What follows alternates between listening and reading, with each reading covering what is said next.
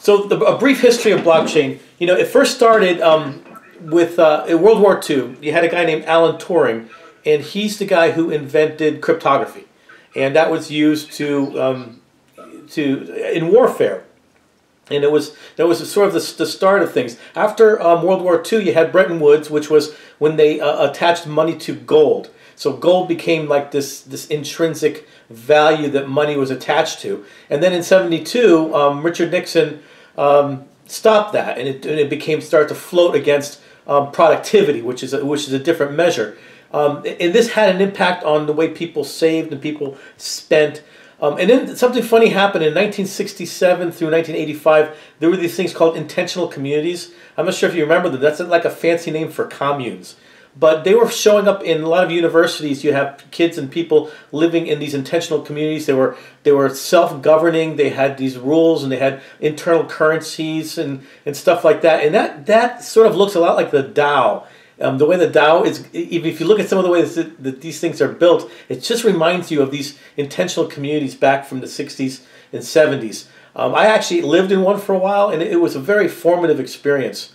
Um, and then you had in 1969-75 the Apollo program, and, and I'll, I'll talk a little bit more about, about that, what Apollo brought us. It brought us, you know, incredible innovation. You know, getting to the moon was an incredible, incredible feat. It brought us the, the computer. It brought us the integrated circuit. It also taught us how um, computers could vote.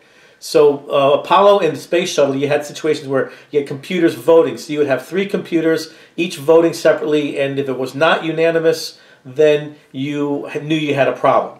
Okay, so that is kind of one of the big chunks of blockchain that came out of uh, that that program. And then in 92 to 2008, you had like the cypherpunk movement. These this was a group of people. I guess they're the emerging emerging libertarian groups that were they were saying the only way to be free is to be anonymous. And they did a lot of work with cryptography, and and they started building communities around these these cryptographic uh, ideas. Um, a lot of them now take credit for for um, for blockchain, I would say um, not so much, but they were a big, big part of it. Um, in 93 through 97, you had something called the Big Bang of Globalization. This was things like uh, NAFTA, where you were trading um, goods as well as services. So, you know, it's easy to trade uh, tomatoes and stuff, but now how about financial services and engineering services and, and, and, um, and, and information services? That was new and then that happened at the same time as the internet. So now you could you could transfer these services over this technology called the internet, and then the internet was a one way device, and then you had the dot coms, which was one one dimension plus uh, a storefront.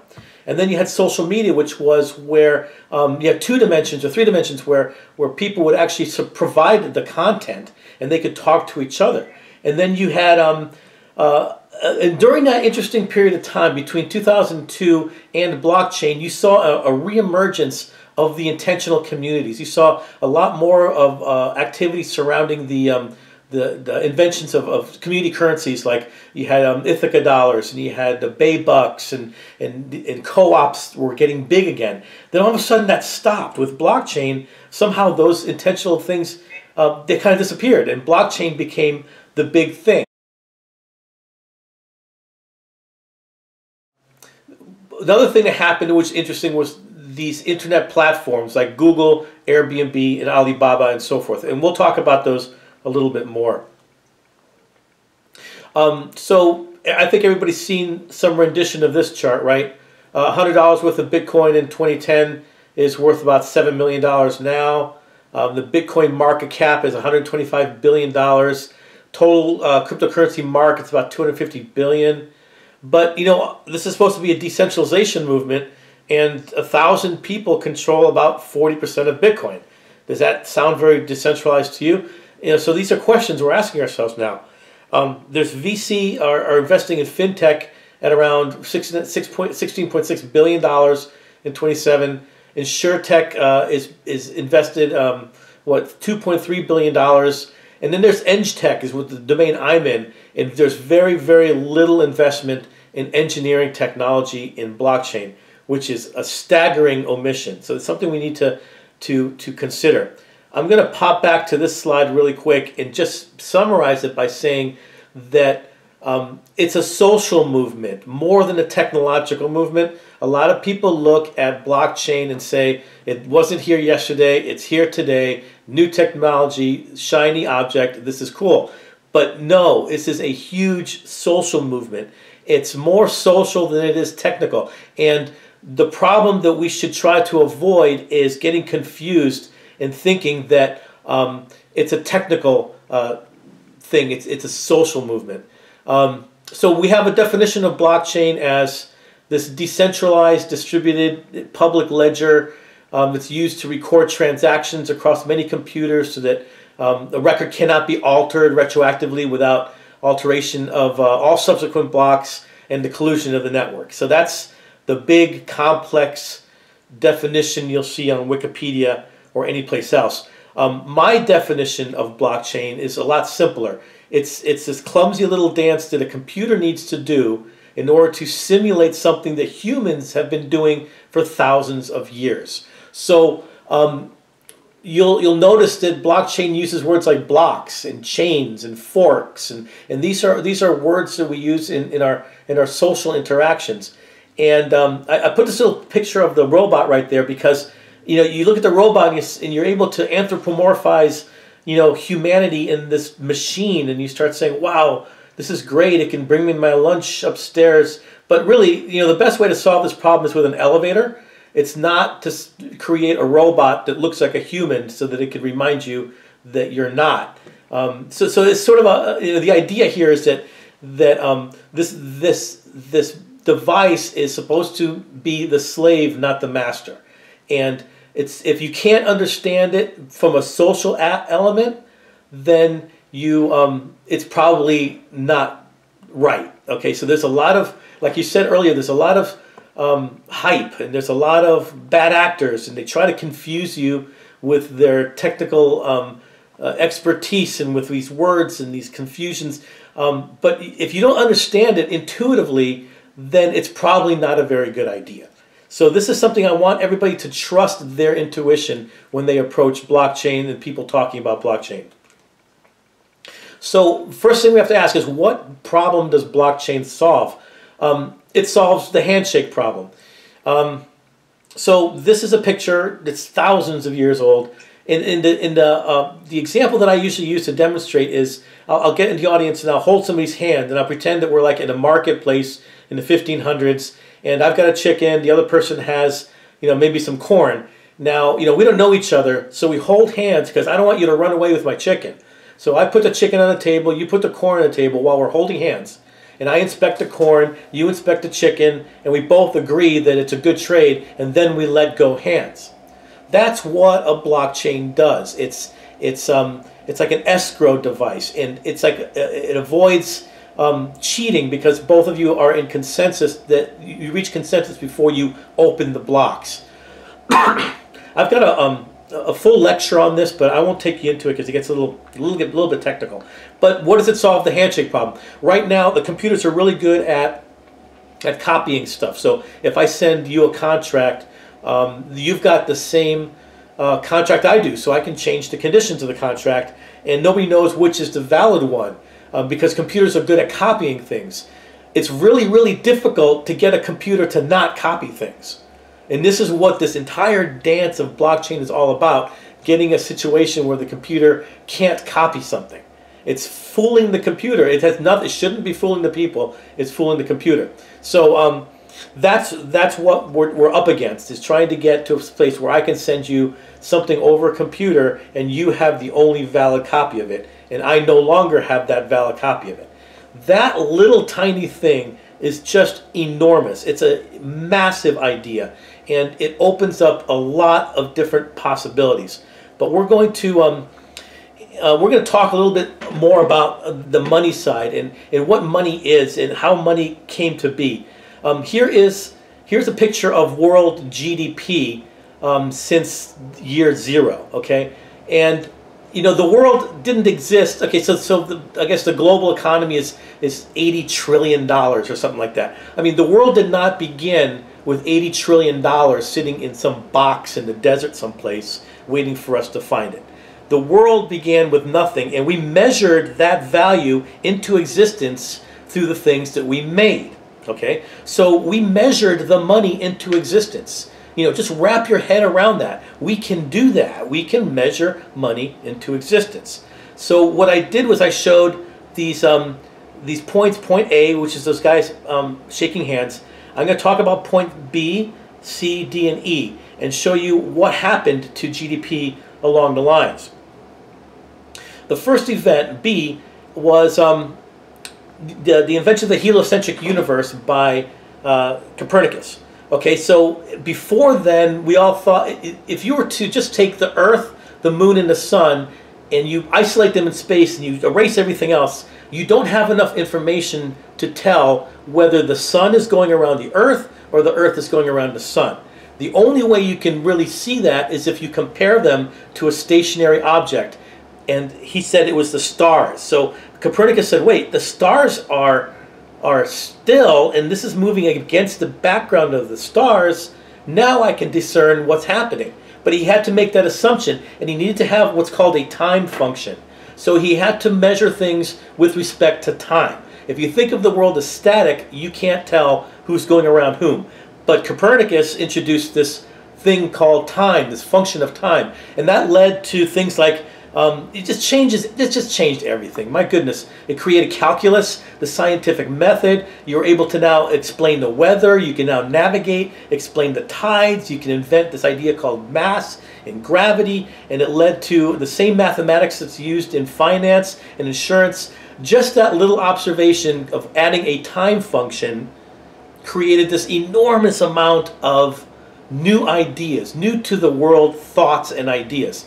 Now, the blockchain does that. It creates a time function because the blockchain is sort of clicking away like a metronome. It's like a big time machine. And you can just put your events on the blockchain and then you can analyze them computationally at a later date. So if you, if you understand, if you look, if you can imagine the differences since this one little idea came about, um, you can imagine what the future holds for us.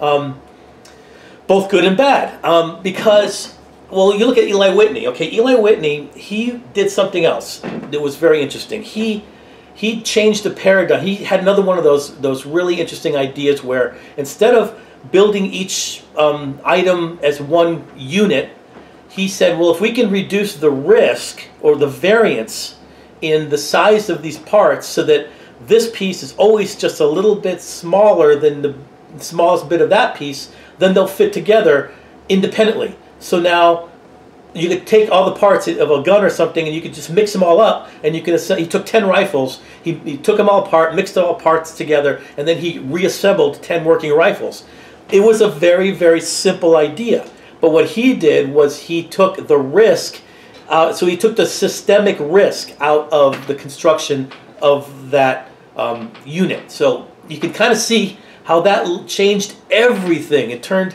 into the Industrial Revolution. It allowed us to do, um, you know, assembly lines, build cars, build um, houses, build everything, medical equipment, all kinds of stuff. Even um, and then this guy named Jules Verne says, "Why don't we we can we can shoot ourselves into the moon with one of these things?" So then the idea came that we can go to the moon, and, and then we we developed the Apollo program, and that led to these amazing developments in the integrated circuit. We invented everything that we have today can be attributed to these three events. But when we got to the moon, we found that it was a pretty dusty place and there was really much there. Um, but the process of getting there is what created all this value. So this is this is the other point. If we go up to this chart here, I meant forgot to mention. Um, point B was Copernicus. Point C was Eli Whitney. Uh, point D was Apollo, and now point E is today. So you see how all this value, this is the money that was measured into existence through the process of going to the moon, for example. Um, so we, today we see there's two primary use cases for blockchain. One is like this mechanization of transactions. That's sort of the idea that that you can um, you know, replace all the people working in the back office. You know, you don't need all those pesky agents anymore. They want, you know, free, you know, free holidays, free vacation, and they, you know, they want insurance and stuff. So you can get rid of those guys and those girls now, and you can you can put this machine that'll do all that stuff um, uh, one way. Then you have another set of uh, ideas. So they're organizing things with respect to time. And those are the new to the world inventions that are going to come out of blockchain. And then there's the old world inventions, which is you know just changing uh, the legacy institutions to make them more efficient. I find that really, really boring. I find that not very interesting and possibly dangerous. But the other part, new to the world activities, oh, that really, really gets me going. That's what I think the future of blockchain needs to be. Um, if you look at, you know, Eli Whitney again, you'll remember he did the cotton gin, and he created the cotton gin, which made um, made growing cotton much more profitable. So as growing cotton became much more profitable, then that increased the slave trade to a point where it was no, it was, it was, it was, it was vile. It was getting very bad, and then the North and the South started having political problems with with uh, the slave trade because the cotton gin had increased the profitability of that industry. So what Eli Whitney did was then he, he got out of the cotton business and he made guns. So that allowed everybody to fight. So I mean, is this you know these are sort of the things. Even though so much came out of those inventions, getting to the benefit was really not a lot of fun. It was it was uh, you know the rocket that went to Apollo went to um, the moon came out of you know Nazi Germany. So so do we really you know what are we setting ourselves up for if we take only that approach? where we're mechanizing ourselves now with this electronic device. So we absolutely have to have that other piece, which is organizing society with respect to time. So these are the two primary use cases of blockchain right now. There's a whole bunch of people going one direction, and then there's a whole bunch of people going down the other direction. And that's kind of, um, you'll see the mix and stuff, but that's kind of what I see as being the two, um, the two avenues. And um, you're not going to get you're not going to make one stop and, and, and not have the other you have to have them both and it's going to take communities like yours and ours and the government blockchain association and the construction blockchain association all the consortia all the people need to be really working together and and um, to, to invent these other um, new to the world uh, organization reorganize ourselves as a society, and that's that's going to be our best defense against the you know you know the dark side of this mechanization principle. I mean, nobody's going to say that you have to bring back the typing pool ever after the after the word processor was invented. But you notice that everybody went from typing to word processing. So you, every, all the people went to a higher state of productivity. They weren't stuck in a lower state of productivity, and that's what you want to avoid. Um, with, with some of the mechanization ideas. So anyway, I'm going to get off that slide. Um, I want to talk about platforms right now. Um, you know, you've heard of Uber, obviously, and, and, and Airbnb and, and, Facebook, and the slogan, of course, is Uber is the biggest transportation company, and they don't own any cars. Airbnb is the biggest hotel; they have no room property. Um, Facebook has no newspapers, you know, and so forth. So there's that. There's that that saying there. What these what these devices are they're platforms. Okay, so their value comes from uniting people.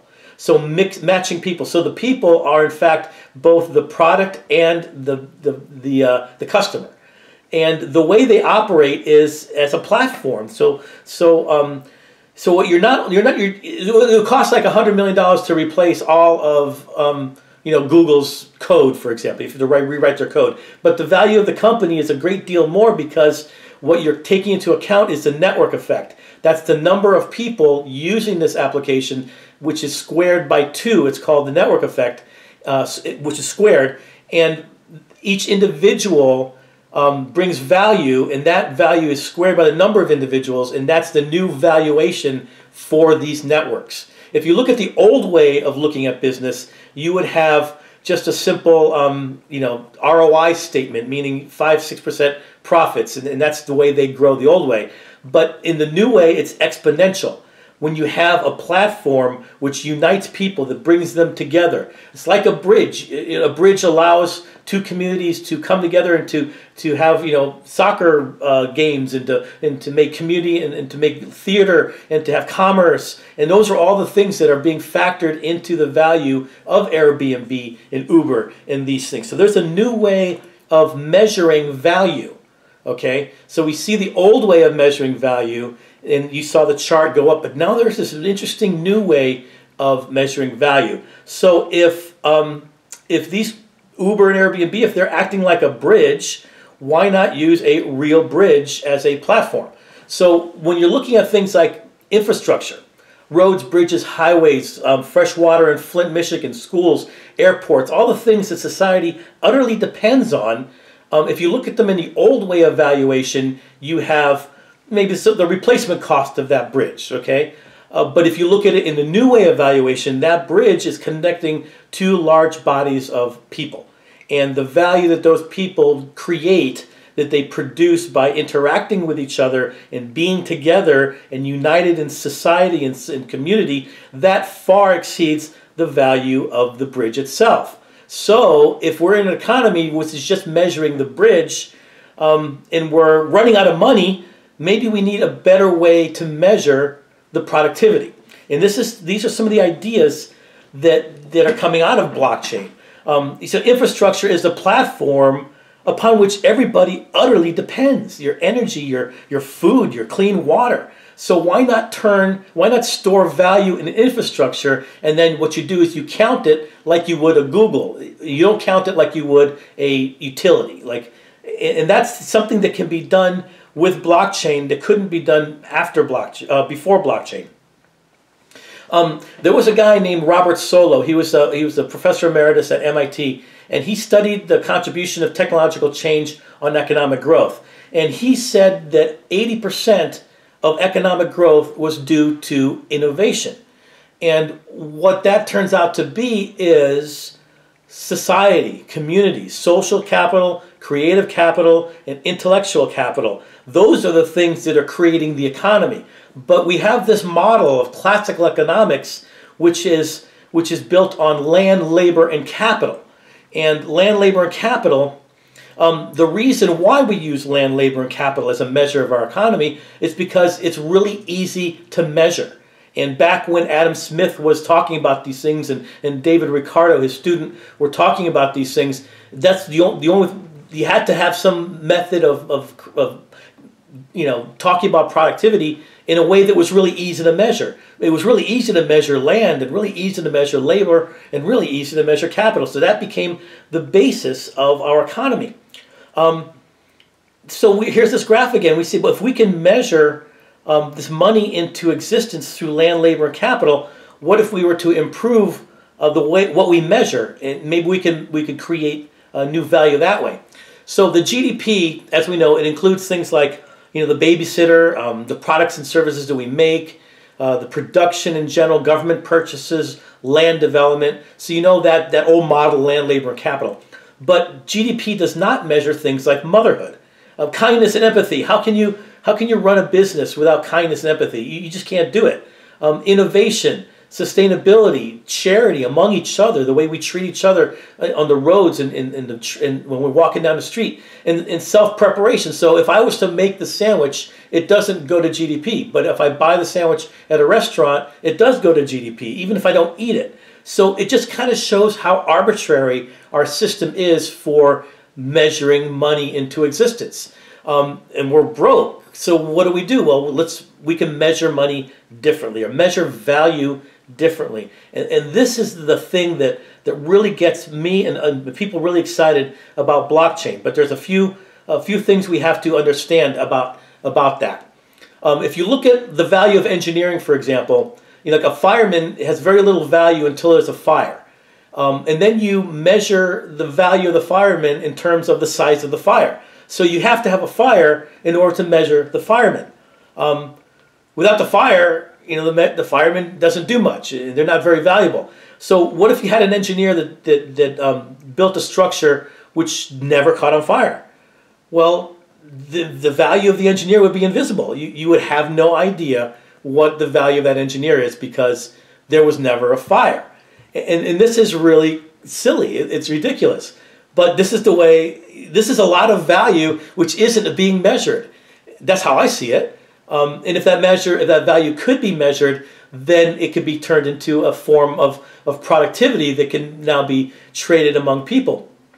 So um, you, you look at um, how, how do you do that? Well, what do, what do engineers do? Engineers reduce risk from systems. So they reduce the risk of, say, um, an airplane uh, crashing. Um, you would not get into an airplane which was not somehow designed by an engineer. Um, they, they reduce the risk that um, the bridge is going to collapse, so they reduce the risk that the internet's going to go out or that the fire is going to happen. So risk is a really easy thing to measure. I mean, it is. I mean, there's a, there's it's a little bit technical, but it's something that's done by banks and insurance companies all the time. Um, insurance companies they they measure risk and they build these products around them. And, uh, and banks they they have they, they know what's risky. They know who's a risky bet and who's not. So it's not an impossible thing to do. It's just something that's not being done. So what if you were to measure the risk? Um, that engineers take out of the, of, of the system. Well, what you have now is this virtuous circle. Um, a bank will not lend money um, to a project uh, that's not insured. An insurance company will not lend money to a project which is not properly engineered. And you can't properly engineer a project unless um, you have good financing because you know you have to you know you have to pay the engineers while they're doing the design long before the object is generating revenue. So you have this virtuous circle and this became very apparent to me when I was in, in Mexico working on NAFTA when I was down there, I looked at Mexico. I'm like, oh my gosh, this place is. This is back in 1992, 93. This place is really backwards. I mean, this is the infrastructure is terrible. The engineers must be really bad. So I took a job at the engineering school to uh, to to um, you know to, I took a job as a teacher at the school at an engineering school, and I, I figured that the you know the engineers were really smart when I was talking to them. These guys were really smart, extremely creative so I decided to test them against a known standard. So I sent them to the American board exams, and they did extremely well. So I'm like, wait a minute, wait a minute. There's a big disconnect here. I mean, how can there be such a backwards country, but these engineers are equally as good as American engineers? As it turned out, the insurance industry was um, was incomplete. So there was holes in the insurance. So if you couldn't insure the road which connected two cities, then those two cities would not have commerce. So the, so the economy, so it wasn't a matter of being able to build a road, it was a matter of providing insurance to that road because then you can get the finance and then you can get the engineering. So this was what NAFTA was all about, providing um, services in, in, insurance and finance and engineering. Um, I'm not going to talk much more about that, only that at that period of time, um, you were able to see this virtuous circle extremely clearly. And, and this was an observation that we made back then. So we've always kept it in our mind. And um, so we've come up with another, um, uh, it's called production function. So instead of land, measuring value in terms of land, labor, and capital, we can measure value in terms of insurance risk, finance risk, and engineering risk. Okay, so risk is risk. It's the same risk that everybody uses. So you have now one thing that you can measure with blockchain that is common to banks, finance, and engineering, so that now you can you can build the things that society needs with this with a, a completely bypass land, labor, and capital. So I mean, we look at our world now, and all the corruption is about you know who can grab all the land, who can control all the labor, who can own all the capital. So all, all this, a lot of the problems in the segmentation of industries um, and segmentation of politics and polarization of ideas are all based on this rush, this battle, this this this thing for land, labor, and capital. If we were to completely bypass that whole trip and go to a different system, which is reducing systemic risk, then you would have a completely different set of priorities in business and commerce and society and so forth. So that's like the big vision um, that we have, and it's really it's really easy to do. And this is what we're building a, a blockchain um, uh, to do this sort of thing. Um, and it's pretty simple to do. It's it, what you do is an engineer makes a claim, then another engineer validates that claim. That claim goes on the blockchain, and then that's called a unit transaction. And if you take all these unit transactions and you pile them up on top of each other, they're on a blockchain so you can tell when they happened with respect to time. So a blockchain is like a moving background, and you sort of stick your sticky note on the, on the moving background, and then you analyze them computationally later. So this gives us the ability to, um, to create these new ideas that, that the, the Eli Whitney's did. It gives us the same effect as an idea that, that Copernicus had, or and um, and changes everything. So now we, you know, that's that's what we're looking at for blockchain. So the problem we have today is we have a 237 trillion dollar um, deficit, which means this is global. I'm not picking on the United States. This is pretty much the world owes itself three times more money than what exists. Okay, so um, I wish I didn't know math. I wish I was innumerate. I wish I didn't know what that meant. But you owe more than what exists. Something's got to give. Okay, and we've we've seen in the past that there's going to be a, a, a social adjustment which is probably going to be very unfortunate. I mean, I saw a massive devaluation in Mexico, and it was just horrific. And we're seeing these things happen now in Venezuela, and we saw it in Germany. So it's, it's in, in Argentina. Uh, we we know what these things are like, and they're never never fun.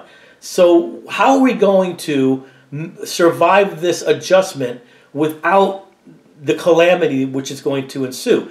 we actually have to build a parallel economic system next to the existing economic system, which hedges it. So as one starts to decline, the other one starts to take over. We're not talking about a big, massive, um, you know, stick it to the man, we're going to redistribute wealth and all that stuff. We're talking about how do you build a practical system which can hedge the system which is declining. So as one goes down, the other one goes up. Um, this is what we're talking about by storing value in infrastructure. Instead of storing value in gold, instead of storing value in, in debt, we store value in infrastructure, and that's the stuff that everybody needs anyway, and that's going to help them produce anyway. So this this is what we're trying to do. What does that mean for you guys? Okay, it's um, the place where we have to be is right here in the middle of the digital world and the physical world. Because the compute computation the compute computer era is, is making these digital twins of everything. Digital twins of buildings digital twins of, of, um, of climates of cities. Iot is, is part of that. Ai is part of that. All these technologies kind of fall under that bucket of digital twin. But what if that digital twin is not correct? If you don't calibrate your ai you're going to get bad predictions. So you have to say, okay, here's my group of experts which calibrates my AI. Well, how do you know they're experts? Who validated those experts? You know, how do you know this IoT device is is reading the right thing? How do you maintain it? How do you know it's not being corrupted by another uh, another force acting on it that nobody knows about? So the era where the society needs to be is in this era of the physical sibling of the digital twin. So the big application that we see for societies to become, um, instead of, we shift our role from brokers to adjudicators. So each one of you are now a specialist in some era, area, and you're registered on, on, a blockchain as a specialist on that area, and you would show up to a site and verify, yes, this is the truth. And then that is, your, your credentials are established on the blockchain, so the blockchain can now trust you, and you now adjudicate that contract, and you can have the flow of, of money continue from there. So that is the big, um, the big job ahead of us. And the only way to do that is to collaborate with each other. Um, there's a lot of blockchains out there saying, I mean, I'm, I'm working with a big giant company, and uh, they, if you're not on a Hyperledger, then they don't want to talk to you. And, and that's kind of uh, disturbing because, you know, in order to get out of this mess, we all have to be talking to each other. It doesn't matter, you know, you know, everybody wants to be the replacement currency. When the dollar collapses, they want to be the black market currency. And, and, that's just not the way to think about this, okay? The way to think about this is as the dollar is slowly diminishing, we are slowly replacing it with something else um, so that we can just, you know, get to the next economy without, you know, bad things happening. So that's the big message I want to bring. This is why we collaborate with, with Randall. Randall, we found him in the global, um, what was it, the, the Government Blockchain Association. We're the engineering uh, co um, consortium, and we've done everything we possibly can to, to coordinate with groups such as the Chamber of Commerce, with the um, government um, blockchain people, with the construction blockchain people, with the finance blockchain people, because we all we're all in this together, and and we have we can't just neglect the social component of this thing. Remember, it came from social component. The blockchain is just a, a, clumsy dance that a computer needs to do in order to simulate the human piece. Well, we can't just forego the human piece. We have to strengthen that human piece more now than ever. So this is the big message uh, we want to bring forward. Um, this is a little bit technical about what we do. I'm going to skip this in case you have any questions. Um, so how do we know all this? Well, the Integrated Engineering Blockchain Consortium, well, I started many years ago. Um, I told you about the communes. I told about that sort of stuff. We also got into uh, NAFTA. We are we are the ones who are who are who built that model um, of NAFTA, the the the virtuous circle. Um, in Boeing, we worked for um, uh, knowledge because they had this generation gap between uh, young people and old people, nothing in between. So we had to build a knowledge transfer system which got both those sides um, communicating with each other. And it was less about engineering than it was about social. It was about getting them to socialize, and then you got the knowledge transfer. It wasn't about getting engineering, showing you know, giving me engineering, you give me engineering. It's all about social, and you know you cannot avoid that. Social flights was um, another project we started. was like the Uber for private jets, and that turned into a um, that was very interesting because it taught us that there's no discrete solution, no one single solution, but there's a probability that a jet will fill. There's a certain probability that you can get uh, this business plan to close. If you start relying on probabilities instead of trying to solve the problem definitively, then you can get a lot more done. So this is what that taught us. And now um, the Ingenesis project was getting involved with a lot of those, the social currency movement and so forth. And then blockchain hit, and we ran um, the FinTech task force. We wrote the we wrote the actual the position paper for the National Society of Professional Engineers. Um, we won the contest. Uh, the insurance commissioners we, had, we consulted to them. We formed this consortium, and we partnered with um, in Switzerland. And um, and now we've just actually released. We, we've we've we've built a blockchain which is our own native blockchain, which performs that simple task that I described earlier, and that's um that's in test right now. So we think it's a very a lot a majority of the problems in the world we think are very very simple to solve, um, but it's going to take uh, people. It's going to take the community all to reach a social consensus. Don't rely on the computer consensus. It's all going to be about social consensus. Um, now, if you want, I'm not sure how we are on time. I could I could take questions from here. I can deep dive into any subject you want. These are some of the people we've been consulting, advising. Here's our disclaimer. Um, you're talking about us? Okay, yes, we're we've developed a very simple blockchain. We do not believe that we need to have this enormous um, ecosystem just yet so we have a simple blockchain, and what it does is it is it measures this value into existence. That's all it does. And once you've measured it into existence, you can now assign a currency to it. And it's the currency represents value stored in infrastructure or, or the or the decisions of engineers. And community we're hoping that society would say, yes, I need to be warm, and gold does not keep me warm but this engineering um, created the heater and the energy, and therefore it's the value that I'm willing to trade. Um, so the question was, what blockchain did we model? Um, as you know, everything is pretty much a clone of everything else. You know, BitShare, Bitcoin was a clone of, of, of um, Hashcash. Ethereum was started out as a clone of, of Bitcoin. What we did is we cloned we cloned Steemit, and that's a, a delegated proof of stake.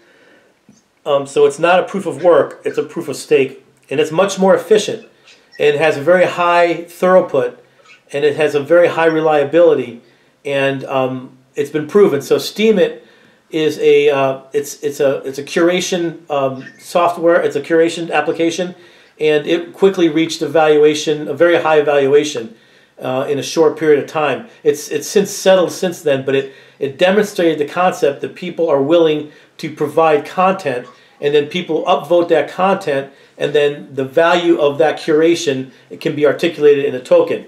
We're changing a lot of things to Steemit, We're issuing two currencies. One is called mass. The other one is called gravity.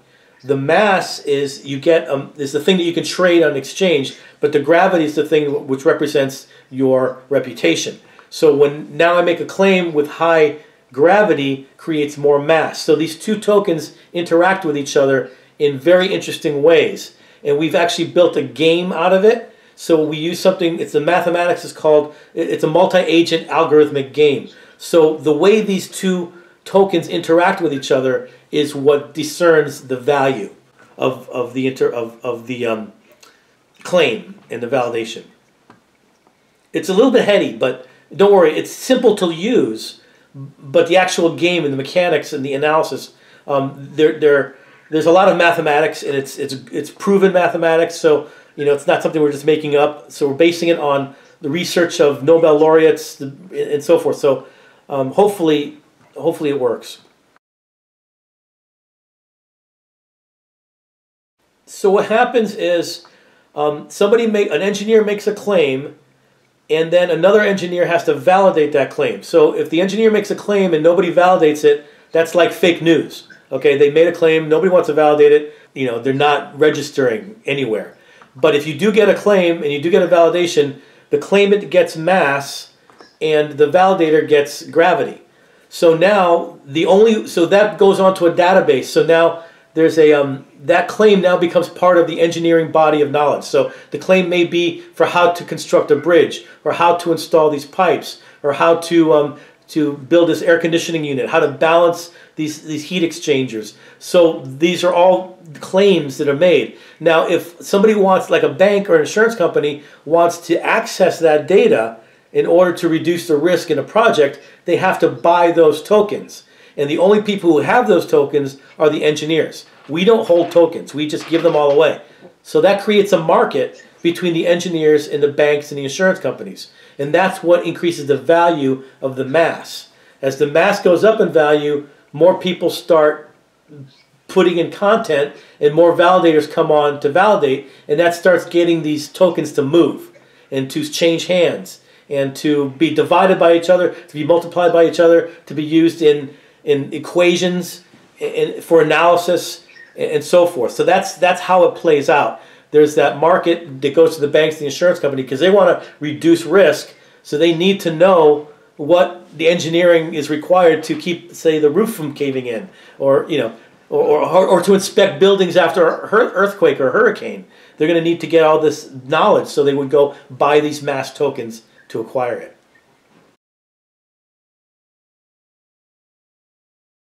you know, a thousand years ago, there weren't engineering schools. Um, the, you know, the university system is something that we created, and they call them engineers now. But you know, a thousand years ago, they were makers of useful things. So the carpenter and the uh, and the and the and the blacksmith, and um, you know, th those were the engineers of their day. Um, people who made useful things. So we're, we're hoping that eventually the definition of an engineer starts to change so that anybody who's making a useful thing can make a useful claim that would be validated by another person who makes useful things. So that's where we're going to start getting the generalized reciprocity. But we start with engineers because they've got the direct link to banks and insurance companies. But all of us have a link to, to banks and insurance companies. The way you drive a car, so that you're not crashing in everybody and you're not blowing things up, you're participating in that whole act of reducing systemic risk by your generalized behaviors. So we're hoping that this idea generalizes to include everybody. So now it's in everybody's best interest to reduce risk rather than create risk. You see, you see how that's going to play out?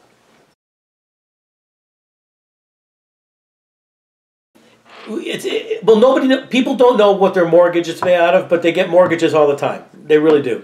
People don't know, uh, they don't need the education to know how Google selects your, you just use the application. So that will be kind of what we're banking on, that the user interface will be so simple and so intuitive that you don't worry about um, you know where, where the money's coming from. It's just that you do productive things and, and you get paid, and that's the way it should be um, by the system. So uh, the education, yes, it's going to be, edu- you know, you do have to have some education, um, but it's not rocket science.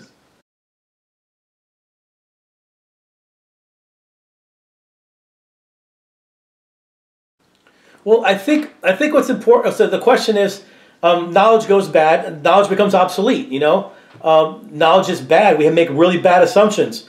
Um, but what's important about that is that we have a forensic record of it.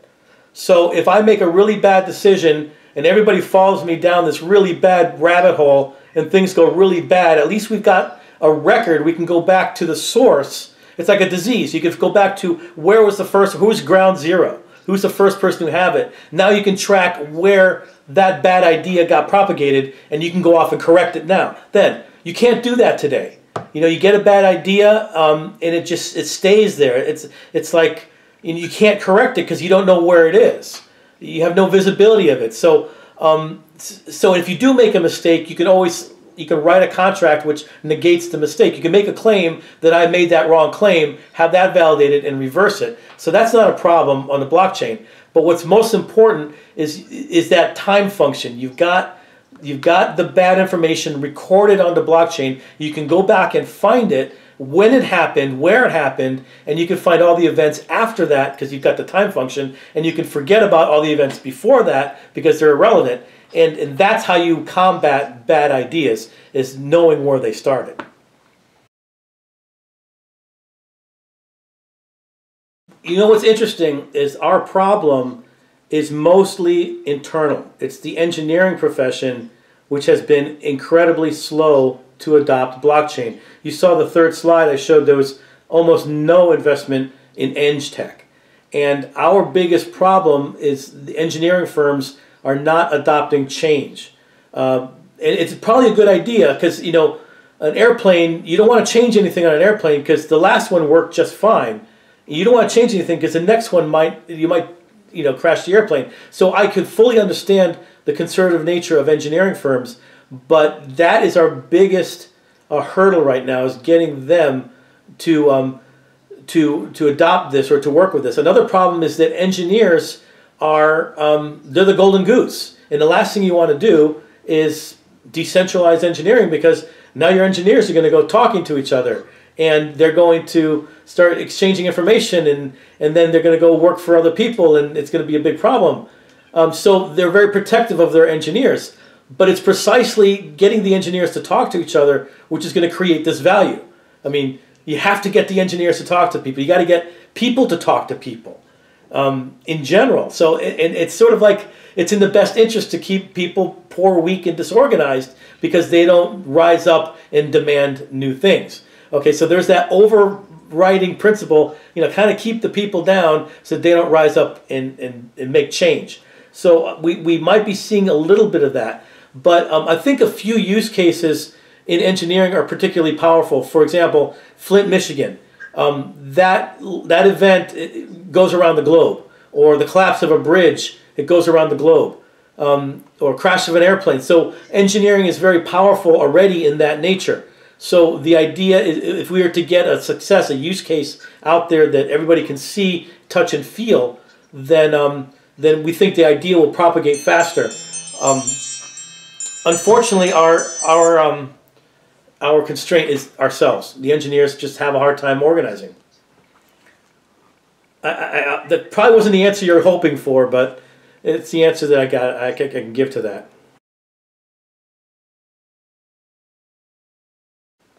Um, oh, myself, yeah. The, the focus that I want to really drive home is what you guys are doing is exactly what needs to be done. Um, forming and getting together in person, live, looking each other in the eye, shaking each other's hands, and that's that's where the value of blockchain is. It's not in the blockchain. It's not in the currency. It's right in front of you. So I mean, I don't know how uh, if I was able to get that point across, but the collaboration among people is. Um, I got this phone call. People coming in. The collaboration of people is what's really really important.